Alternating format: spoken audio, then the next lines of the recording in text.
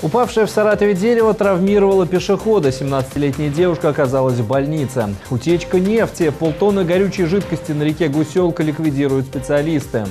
Рванула как ядерная бомба. Именно так охарактеризовали жители региона взрыв газопровода на границе с Ульяновской областью. Об этом не только расскажем в программе новости РЕН-ТВ «Саратов» в 19.00.